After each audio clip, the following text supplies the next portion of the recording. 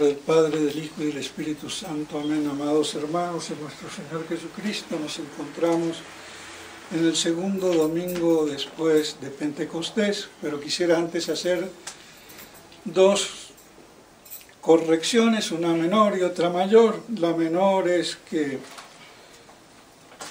creo que me confundí al hablar hace como tres o cuatro domingos, no sé ya cuándo, del monte Moria y del Calvario.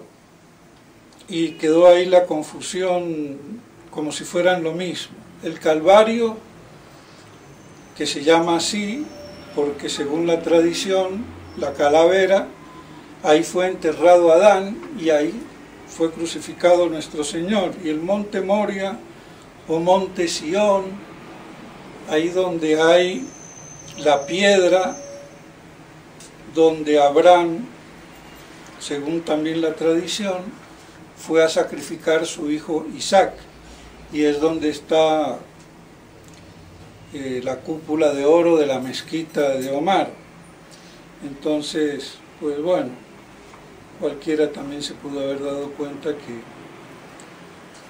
que son dos cosas distintas. Y la otra mayor, que sí, cuando hablé también hace no sé si tres o cuatro domingos, haciendo alusión al maestro Eckhart, que pasa por un gran místico incluso, casi se podría decir padre de la escuela renana, alemana, vinculada también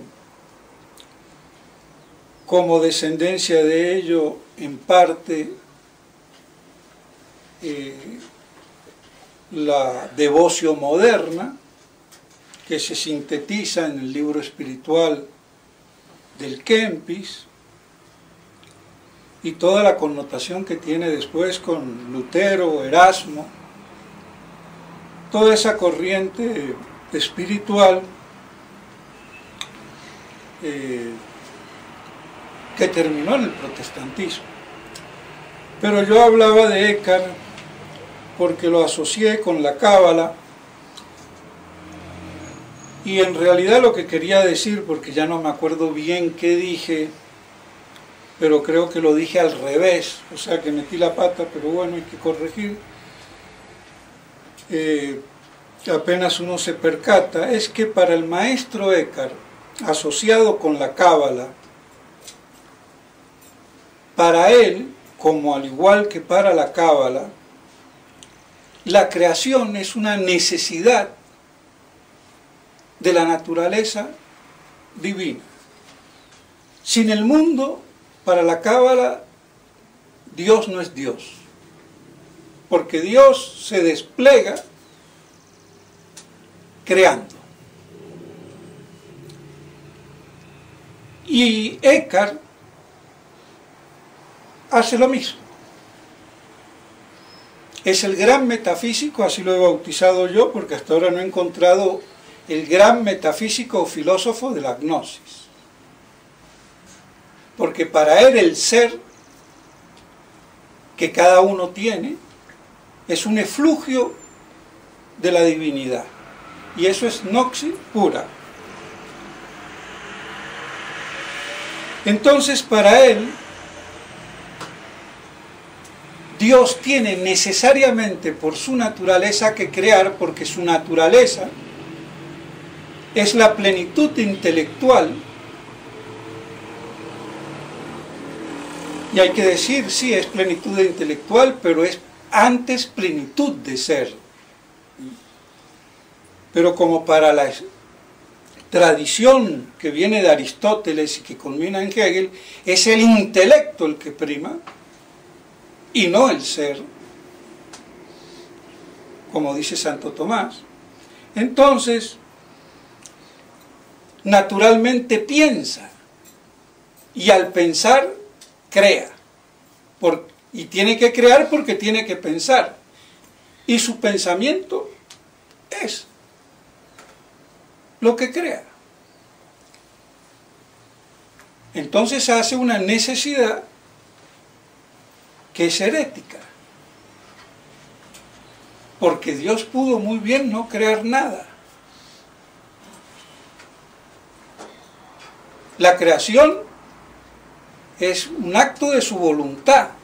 Claro está que lo hace con su inteligencia y su sabiduría. Pero hay que distinguir. Entonces eso era lo que quería decir para que nos diéramos cuenta cómo se relacionaban eh, las cosas. Pues bien, entonces creo que queda claro o más o menos claro. Pues bueno. Pero es importante ver cómo el maestro Eckhart, gran espiritualoide, la escuela renana, han oído hablar de Rusbrook, de Taulero, de este otro que ahora no me acuerdo, que son discípulos de, del maestro Eckhart. Entonces, y pasan por grandes místicos. Y en el fondo es pura gnosis. Es más, Eckhart fue condenado después de muerto. Pero de eso no se habla mucho. Pero bueno. Entonces vemos en el Evangelio de hoy la famosa parábola de los excusados. Ante el convite, la cena que hace este padre de familia. Y aparentemente las excusas son buenas y así todo se enoja, se molesta. Es el aspecto estrambótico, como hace ver el padre Castellani, que a veces tienen las parábolas, esa desproporción, porque en realidad hay una desproporción entre el orden común y el orden divino. Hay un abismo infinito.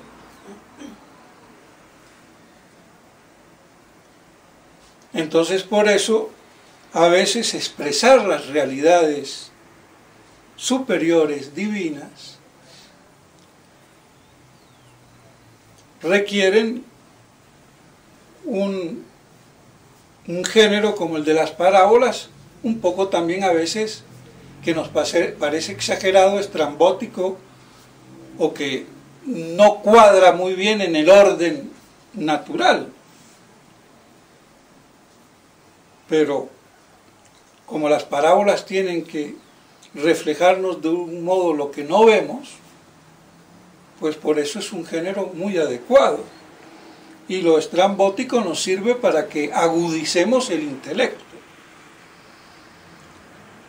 Y si vemos, las tres excusas son muy justificadas, y más el del recién casado, yo que me voy a ir a cenar donde el vecino si tengo que pasar mi noche de bodas, ¿no?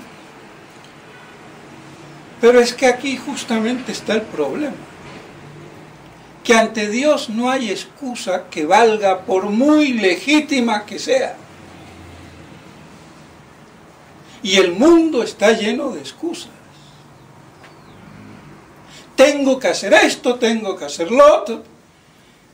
Y postergamos el llamamiento de Dios. Y a Dios no se le pueden poner excusas. Ante el Rey Supremo no hay tu abuela que valga, ni si te casaste, ni si moriste, ni si compraste bueyes o lo que fuera. No hay excusa que valga, porque Él es el fin último, el bien sumo. Y si nos llamas, si nos llama, ahí tenemos que responder sin excusas, ni esperas. Y ese es todo el cuento de esta parábola.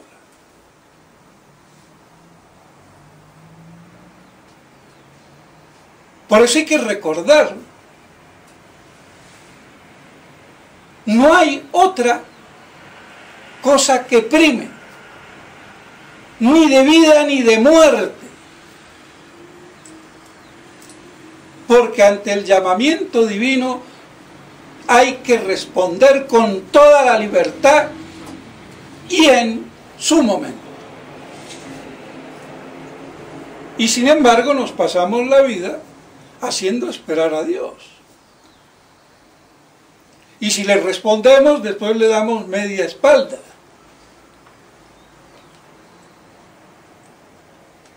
Entonces por eso es de tener muy en cuenta esta parábola para que no nos suceda eso, que nos puede suceder a diario.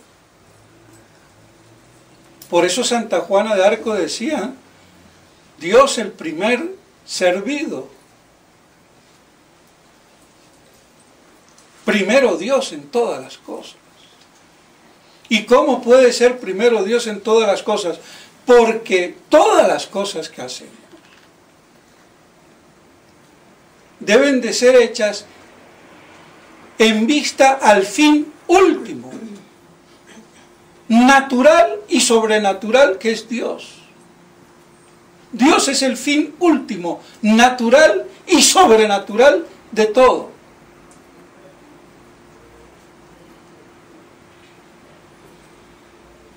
Y cuando conculcamos ese fin último,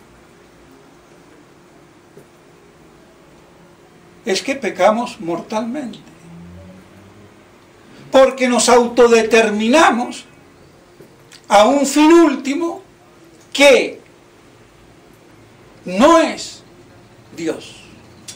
Aunque tengamos la tendencia universal y absoluta al bien. Esto es algo que la mal llamada escuela atomista no supo explicar ni explicará jamás. Y por eso malas definiciones de la libertad, como el clásico de Taparelli, promovido por León XIII, que lo retoma en sus encíclicas, Libertas, por ejemplo. Y mete la pata porque define mal la libertad. Pero no se dan cuenta. Porque si yo defino una cosa por la mitad de lo que es, no la estoy definiendo por lo que es. La media naranja no es la naranja entera.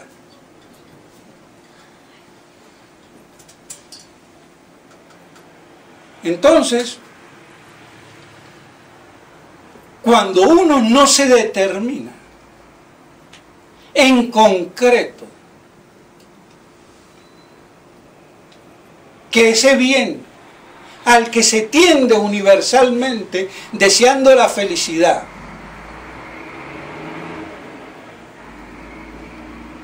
y lo cosifico, por decirlo así, en Dios.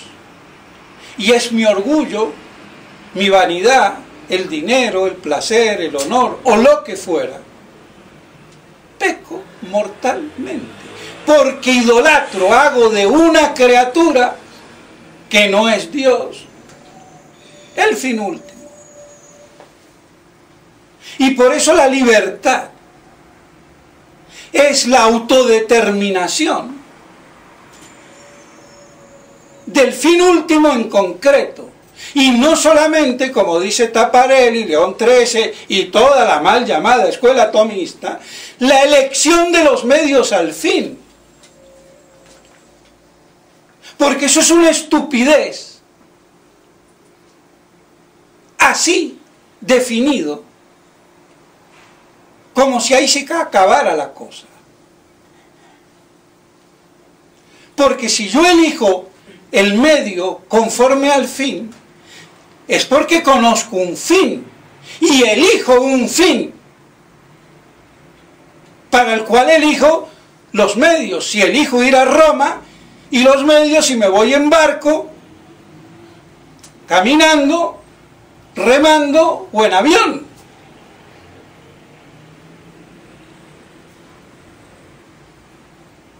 Pero para irme a Roma tengo que elegirla como fin del viaje. Porque si no tengo el fin de Roma, que me pongo a pensar si voy en barco o si voy en avión. Bueno, estas cosas elementales son las estupideces que se enseñan. Me acuerdo de Guido Suage, buen filósofo, pero no me supo responder.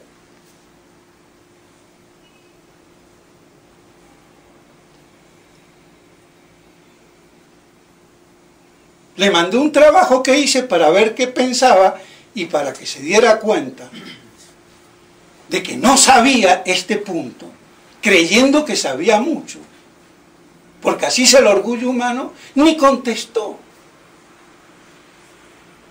Y después cuando uno ve los cursos que él dio por ahí de la libertad, se quedaba en puro prólogo.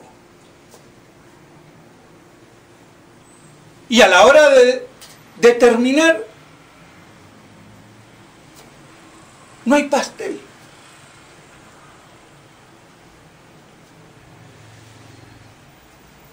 Y lo nombro porque él fue el que se quedó con la biblioteca del padre Membiel. Hasta incluso una vez hablando del padre Membiel, dijo, no sabe porque el padre Membiel no sabe alemán. Oiga, yo no necesito saber alemán para distinguir el Einstein y el Heinzen, como lo traduzco en ellos, esencia y existencia y ser. Ah, pero si no sé alemán, no soy doctor. ¿Pero qué me importa? El concepto no es alemán, ni latín, ni griego. Eso es la expresión verbal del concepto. Pero es que los doctos se quedan a veces en las medias marañas que no entienden. Pues bien, para resumir entonces, y lo importante, que la libertad no es ninguna elección del medio sin el fin. Ah, pero como el fin, todo tiende al fin naturalmente, sí, en abstracto. Y por eso todo el mundo quiere ser feliz. Pero en concreto, cambia la cosa. Porque la pongo en el objeto que es o en el que no es.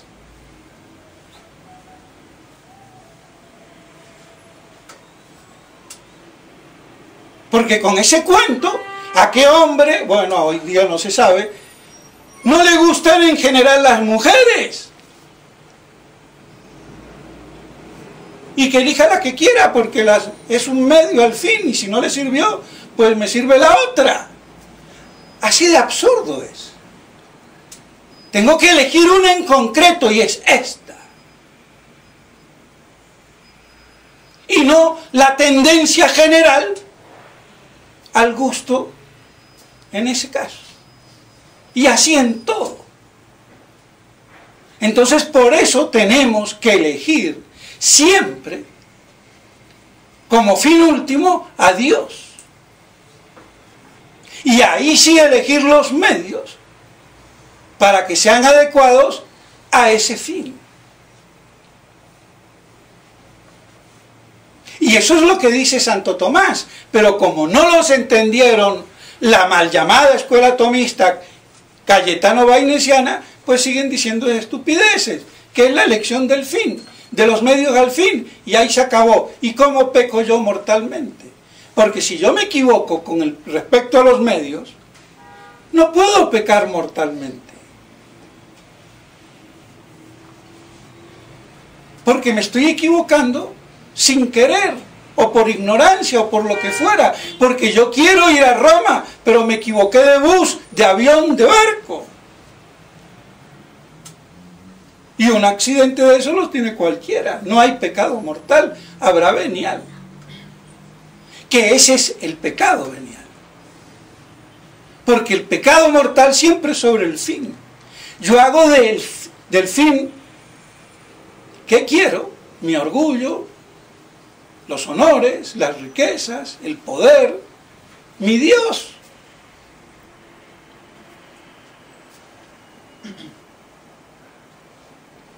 Y por eso peco mortalmente. Entonces hay una elección del fin. Esto es lo que decía Castellani a su modo y Fabro a su modo cuando hablaban de Kierkegaard. Aunque a mí Kierkegaard ni me, ni me interesa poco, ni mucho, ni poco. porque yo no necesito a Kierkegaard para entender a Santo Tomás. Pero ya que el mundo moderno es como es chueco, bueno, sirve la experiencia de Kierkegaard y que un protestante contradice filosóficamente la teología protestante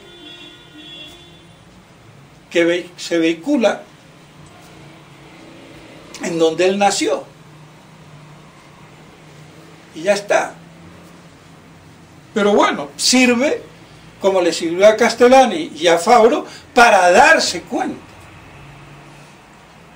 del problema de la libertad. Que no es solamente entonces la elección de los medios, sino principalmente la autodeterminación o elección del fin último, no en abstracto, sino en concreto. Aquí y ahora. Mi Señor. Y cuando nos equivocamos de los medios, pecamos venialmente. Esa es la diferencia entre un pecado mortal y un pecado venial. Entonces, por eso, el hombre puede pecar. Porque su libertad, sin libertad no hay pecado, las vacas no pecan, ni los burros.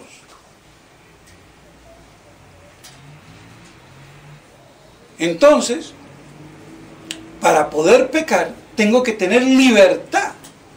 Y si yo no tengo como fundamento de la libertad la determinación al fin último, en concreto y no en abstracto, no habría pecado, ni habría libertad.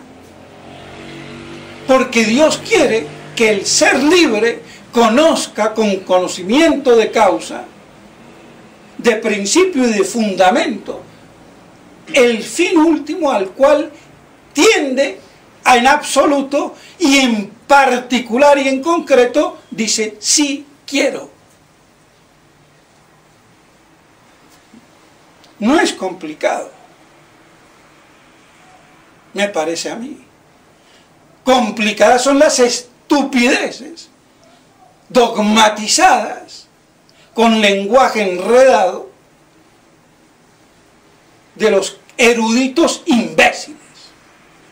Y como yo estoy harto de erudito imbécil, pues me despacho como se me da la gana. Porque no puede ser. Y esto nos ayuda a comprender la gravedad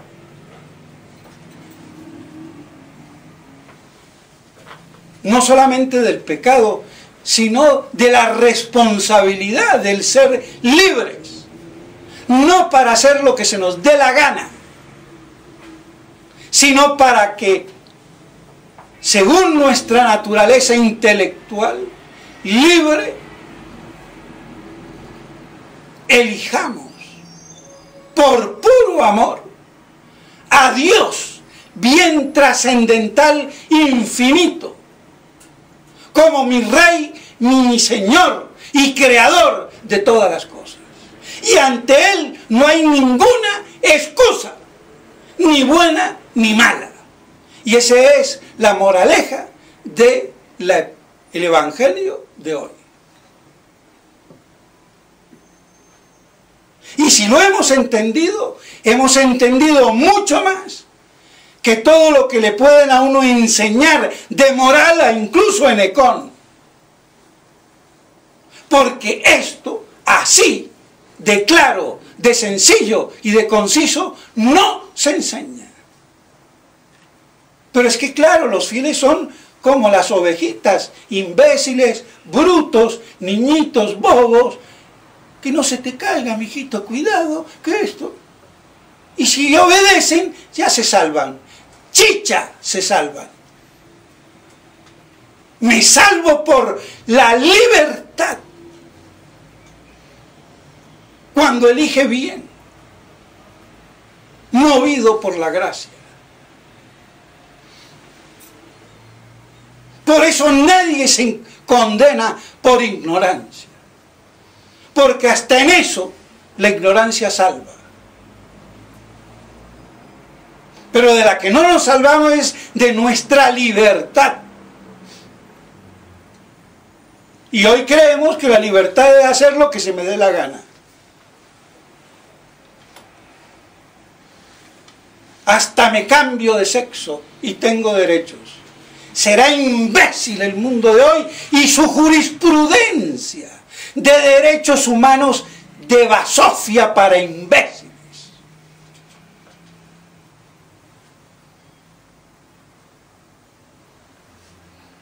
Y me gustaría saber quién de los teólogos, de los filósofos y de los juristas me puede rechistar.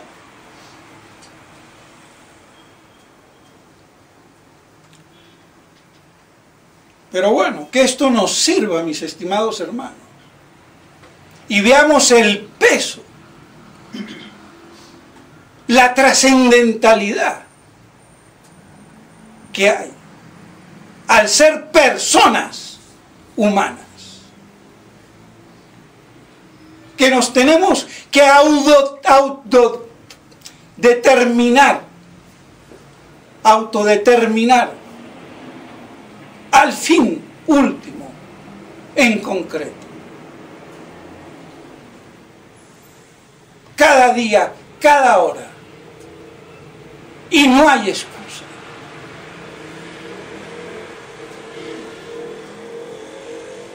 Entonces, que eso nos sirva para que nuestra respuesta sea de amor. Y por eso se conjuga, aunque no parece, con la epístola, que nos habla del amor. Y el que no ama es un criminal.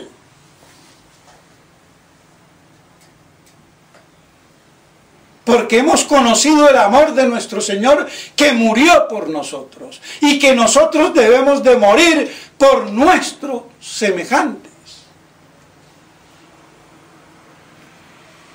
Como murió nuestro Señor en la cruz. Y que la caridad sea verdadera, no de palabra. Que si yo tengo bienes y veo a un hermano en indigencia, pudiéndolo ayudar y no lo ayudo, ¿de qué caridad voy a hablar? Eso está clarísimo. Entonces, esa respuesta de amor y de caridad es la que nos exige la, la parábola de los excusados. Ante el llamamiento de Dios.